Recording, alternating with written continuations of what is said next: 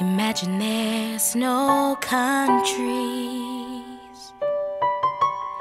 It isn't hard to do.